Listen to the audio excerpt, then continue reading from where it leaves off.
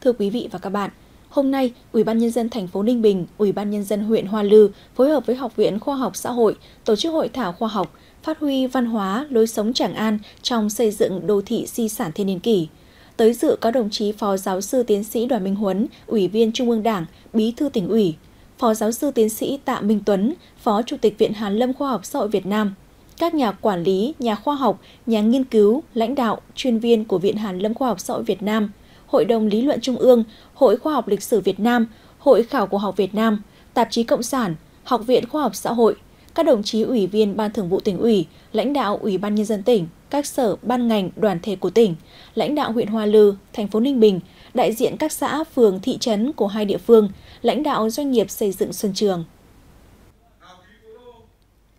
Phát biểu khai mạc hội thảo, lãnh đạo huyện Hoa Lư nhấn mạnh, Cố đô Hoa Lư nằm trong vùng lõi di sản, chứa đựng giá trị cảnh quan đặc sắc, đóng vai trò quan trọng trong đời sống văn hóa và tín ngưỡng của người dân địa phương nói riêng, của người Việt nói chung. Các hoạt động du lịch, dịch vụ và bảo tồn di sản đã tạo nên giá trị kinh tế và nâng cao đời sống cho người dân địa phương, từ đó thiết lập mối liên hệ hữu cơ giữa cộng đồng cư dân với di sản, nâng cao ý thức gìn giữ, bảo tồn và phát huy giá trị di sản.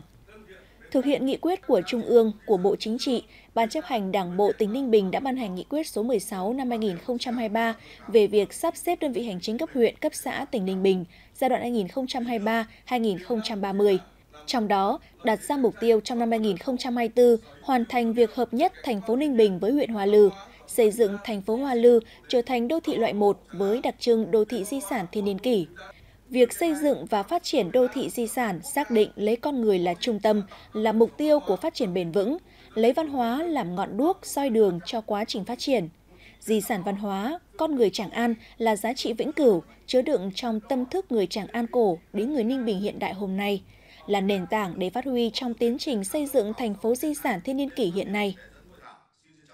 Phát biểu đề dẫn hội thảo, Phó Giáo sư Tiến sĩ Tạ Minh Tuấn, Phó Chủ tịch Viện Hàn Lâm Khoa học Xã hội Việt Nam nhấn mạnh,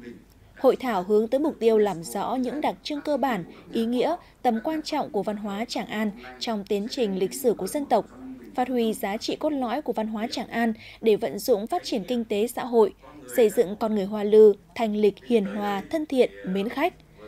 Hội thảo cũng là tiền đề cho các đề xuất về chính sách, giải pháp nhằm phát huy các giá trị độc đáo, khởi dậy thế mạnh tiềm năng của di sản, làm nổi bật thế cạnh tranh của văn hóa Tràng An trong xây dựng thương hiệu địa phương, thương hiệu đô thị di sản thiên niên kỷ trong tương lai.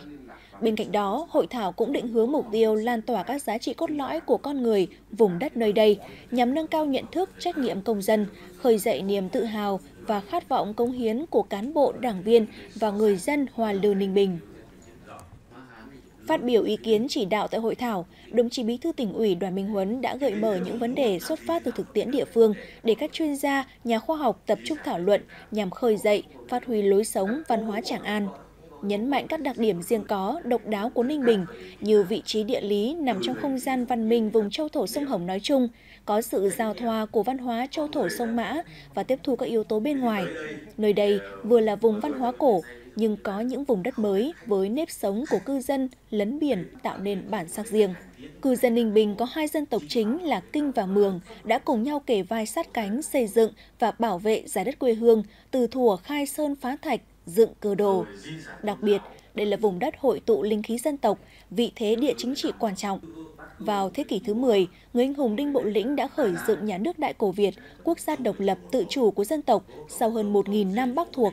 xưng đế, đặt quốc hiệu, định niên hiệu cho đúc đồng tiền riêng, xác lập đầy đủ những giá trị của chủ quyền quốc gia. Kinh đô Hoa Lư trên vùng đất này được hình thành đảm bảo đủ cả yếu tố thành và thị, hội tụ, quần cư của các tầng lớp cư dân nhiều vùng miền đến giao thương, giao lưu kinh tế, tạo nên nét đặc trưng riêng của cư dân đô thị cổ, văn hóa hòa Lư, là nền tảng quan trọng cho văn hóa Thăng Long sau này người dân Ninh Bình cũng tự hào là nơi có nhiều tổ nghề như sản xuất gốm, đá mỹ nghệ, thêu tay, là nghề sinh dược gắn với thiền sư Nguyễn Minh Không, người được vinh danh là ông tổ nghề y dược và đúc đồng Việt Nam. Cùng với đó là nghệ thuật hát trèo, hát sẩm. Những yếu tố này gắn kết với di sản thiên nhiên cảnh quan hàng đầu thế giới đã tạo nên sức hút lớn đối với du khách, nhất là khách quốc tế. Nằm trong chiến lược xây dựng đô thị di sản thiên nhiên kỷ, thành phố sáng tạo, hội nhập sâu vào mạng lưới di sản toàn cầu. Ninh Bình định hướng đột phá về xây dựng trung tâm đổi mới sáng tạo ngoài trời để tài sản hóa di sản, như phim trường, công viên, bảo tàng. Vì vậy, thông qua hội thảo, Ninh Bình mong muốn các nhà khoa học chia sẻ, tư vấn cách thức khởi dậy, phát huy bảo tồn, nuôi dưỡng, tái tạo di sản văn hóa Tràng An. Đặc biệt là định hình lối sống Tràng An, những cơ chế phù hợp để phát huy di sản văn hóa, lối sống Tràng An trong xây dựng đô thị di sản thiên niên kỷ. Hội thảo có 3 phiên thảo luận chuyên đề về văn hóa, lối sống Tràng An, những vấn đề lý luận, vai trò của văn hóa và lối sống Tràng An trong xây dựng thành phố Hoa Lư, đô thị di sản thiên niên kỷ ở Ninh Bình, phát huy văn hóa, lối sống Tràng An trong xây dựng đô thị di sản thiên niên kỷ Hoa Lư. Với hơn 20 ý kiến tham luận, chia sẻ trực tiếp tại hội thảo đã tập trung làm rõ nhiều vấn đề. Trong đó, theo nhiều đại biểu, diện mạo và bản sắc của văn hóa Tràng An mang đậm tính dân gian và tinh thần dân tộc tự chủ, đặc biệt ở thế kỷ thứ 10. Văn hóa Tràng An có vị trí mở đầu thời kỳ phục hưng văn hóa dân tộc. Vùng đất Ninh Bình Điện Linh Nhân Kiệt đã sản sinh và nuôi dưỡng biết bao anh hùng dân tộc, danh nhân lịch sử tiêu biểu, nhất là Đức Đinh Tiên Hoàng, Thánh Nguyễn Minh Không. Ở đó, đặc điểm nổi bật của văn hóa, lối sống con người Tràng An là lòng yêu nước, đấu tranh chống giặc ngoại xâm, thể hiện lòng tự tôn, tự cường dân tộc. Cùng với đó là tinh thần cộng đồng, gắn kết hài hòa giữa cá nhân, gia đình, làng xã và tổ quốc. Đời sống văn hóa dân gian, loại hình nghệ thuật khá phong phú. Nhiều ý kiến cũng nêu rõ, văn hóa Tràng An đã khơi nguồn cho sự phục hưng của văn hóa Đại Việt, tiền đề cho sự phát triển của văn hóa Thăng Long – Đặc thù thiên niên kỷ của đô thị di sản là không gian đô thị đậm đặc dấu ấn lịch sử và văn hóa. Hòa Lư là cố đô đầu tiên của quốc gia Đại cổ Việt độc lập, nơi phát tích sự nghiệp lễ lừng của 8 đời vua trong 12 năm triều Đinh, 29 năm triều Tiền Lê và những năm đầu triều Lý. Ngày nay, cố đô Hoa Lư đã trở thành di tích quốc gia đặc biệt, nằm trong vùng lõi của quần thể di sản văn hóa và thiên nhiên thế giới Tràng An, di sản hỗn hợp duy nhất ở Đông Nam Á. Văn hóa Hoa Lư Tràng An là hồn cốt, đường dẫn để truyền tải liên tục, tạo dấu ấn riêng biệt cho đất và người Ninh Bình, là điểm tựa để Ninh Bình sáng tạo các giá trị vật chất, tinh thần mới, tạo nguồn lực phát triển kinh tế, xã hội, thực hiện giao lưu hội nhập quốc tế, xây dựng, phát triển bền vững các mặt đời sống xã hội cho cuộc sống hôm nay.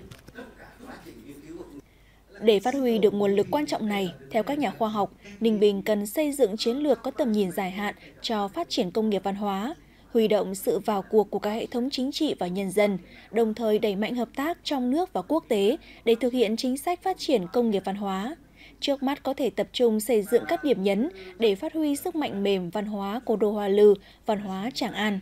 bảo tồn, phục dựng, phục hồi các công trình kiến trúc, di tích lịch sử, khu đô thị cổ, làng cổ và các yếu tố văn hóa truyền thống, lễ hội dân gian. Trên cơ sở đó, tạo ra cùng đường khai thác du lịch kết hợp các giá trị di sản thiên nhiên khuyến khích sáng tạo và đa dạng trong việc phát triển, sử dụng không gian, khuyến khích các hoạt động văn hóa, nghệ thuật đương đại, tạo ra cơ hội cho sự giao lưu và sáng tạo giữa các cộng đồng và du khách. Đặc biệt là khuyến khích sự tham gia của cộng đồng trong việc bảo tồn và phát huy di sản thông qua các hoạt động văn hóa, nghệ thuật và du lịch tạo ra các hoạt động và sự kiện cộng đồng nhằm tăng cường sự đoàn kết, niềm tự hào về bản sắc đô thị di sản thiên niên kỷ mà Ninh Bình đang hướng tới xây dựng. Phát biểu bế mạc hội thảo, lãnh đạo thành phố Ninh Bình nhấn mạnh, sau một ngày làm việc khẩn trương với tinh thần nghiêm túc, trách nhiệm và tâm huyết, Hội thảo khoa học phát triển văn hóa, lối sống Tràng An trong xây dựng đô thị di sản thiên niên kỷ đã kết thúc thành công tốt đẹp. Các báo cáo tham luận có nội dung phong phú, sinh động, hàm lượng khoa học cao, đáp ứng mục tiêu yêu cầu chung của hội thảo, làm sáng tỏ các luận cứ khoa học, xác định các giải pháp bảo tồn và phát huy văn hóa, lối sống Tràng An trong xây dựng đô thị di sản thiên niên kỷ, định hướng cho công tác bảo tồn và phát huy các giá trị di sản văn hóa, phục vụ phát triển kinh tế xã hội một cách bền vững trong thời gian tới.